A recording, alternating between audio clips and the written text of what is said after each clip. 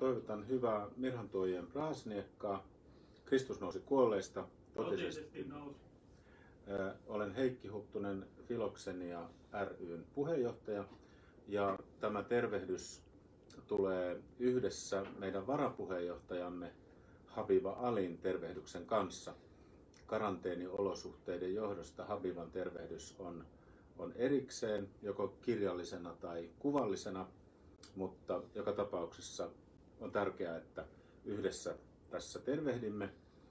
Trapesa-sana on kreikkaa, tarkoittaa pöytää. Ja yhdistys, joka ylläpitää tätä Trapesa-keskusta, on nimeltään filoksenia. Ja se on myös kreikkalainen sana, joka tarkoittaa vieraanvaraisuutta.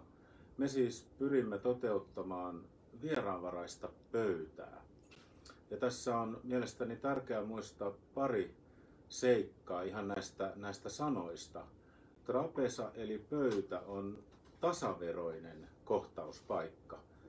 Kutsumme ihmisiä saman pöydän ympärille tuomaan sinne lahjansa, tuomaan sinne kysymyksensä, tuomaan sinne huolensa ja ilonsa ja, ja kaik, kaikkea, mitä, mitä heillä itse kullakin on tuotavaa. Ja jos tuntuu, että ei ole mitään tuotavaa, niin tärkeintä on, että tuo itsensä siihen yhteiseen pöytään. Ja vieraanvaraisuus, filoksenia, taas on tärkeää muistaa siltä kannalta, että vieraanvaraisuus on kahden suuntainen lahja. Vieraanvaraisuutta toteutamme, kun kohtaamme toinen toisemme ja silloin annamme lahjoja, aineellisia ja aineettomia lahjoja toinen toisillemme puolin ja toisin. Ja tämä on tärkeää muistaa nykyaikana, kun puhumme kotoutumisesta tai kotouttamisesta. Se on tapahtuma, joka on kaksisuuntainen. Se on, se on katu, jossa on kaksi kaistaa suuntaan ja toiseen. Ja niinpä siis kotoutuminen koskee kaikkia meitä, jotka elämme yhteisessä suomalaisessa yhteiskunnassa, esimerkiksi Espoon keskuksessa tai tässä laajemmin Trapesan toiminta-alueella. Olemme erityisen iloisia, että Trapesassa voimme kohdata myös eri uskontojen ihmisinä.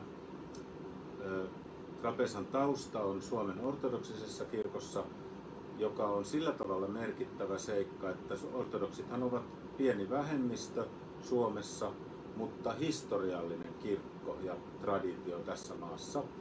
Jollain tavalla me edustamme sellaista kotimaista toiseutta, toista suomalaisuutta, toisenlaista suomalaisuutta.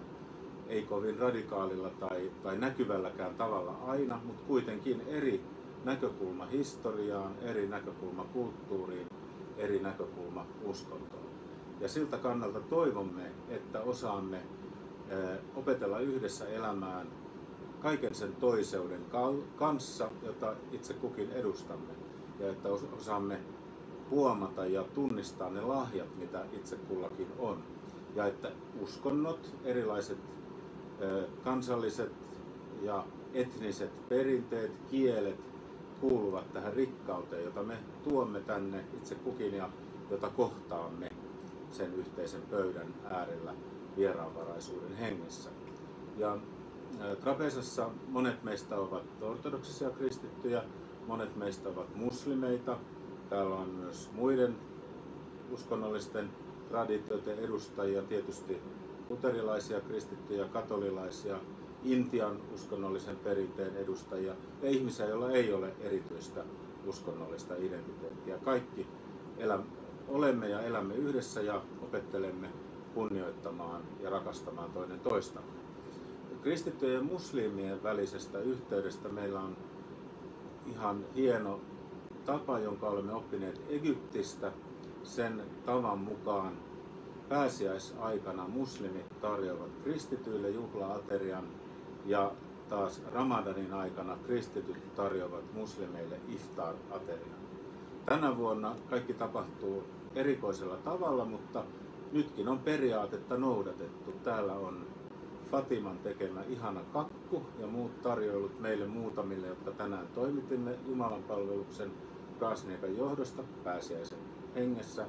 Ja toisaalta nyt on myös Ramadanin aika ja, ja odotamme mahdollisuutta, että voisimme laillisissa merkeissä saada tarjota iftar-aterian vielä tämän pyhän Ramadan kuukauden aikana me kristityt muslimin kavereillemme Trapesan hengessä. Näillä ajatuksilla iloista juhlaa ja kiitos kaikille, jotka olette juhlassa mukana.